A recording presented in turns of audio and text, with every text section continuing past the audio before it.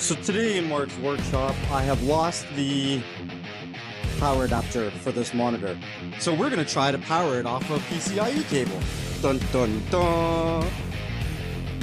Alright, so just so you can understand what's going on, we have the PCIe cable plugged directly into the monitor, and then we have this server grade power supply with a breakout board, and we're gonna plug it in. I can get my cord to bend the way that the port is.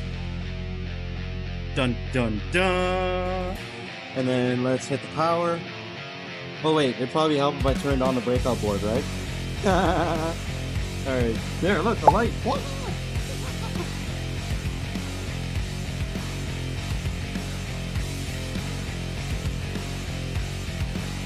I probably should. Holy shit!